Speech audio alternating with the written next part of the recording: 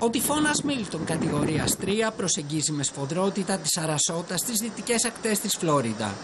Με ταχύτητα ανέμων που ξεπερνά τα 170 χιλιόμετρα την ώρα και ισχυρότατες βροχοπτώσεις, διασχίζει την πολιτεία προκαλώντας πλημμύρες στο πέρασμά του. My feet, you know, there's probably four or five inches of water here. Uh, it is just flowing directly from the river uh, over onto the ground here. It looks like you're at the ocean, but it's the Manatee River. Περισσότεροι από 125 ανεμοστρόβιλοι σαρώνουν την πολιτεία, οι περισσότεροι που έχουν καταγραφεί ποτέ σε μία μόνο ημέρα στη Φλόριντα.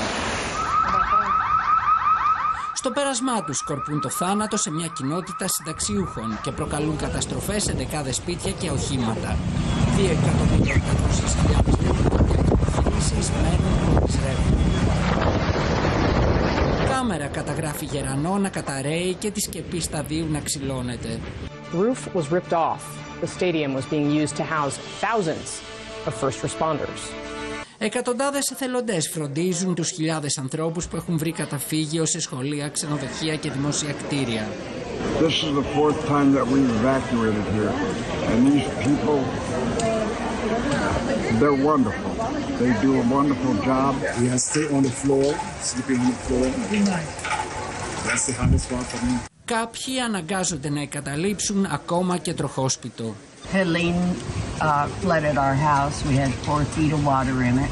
And now we're in the mobile home.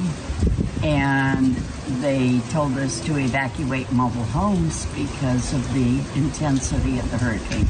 Και καθώς προσεγγίζει τις ανατολικές ακτές της Φλόριντα, ο Μίλτον υποβαθμίζεται γρήγορα σε κυκλώνα κατηγορίας 1, με κατεύθυνση βορειοανατολική και ταχύτητα ανέμων 25 χιλιόμετρα την ώρα.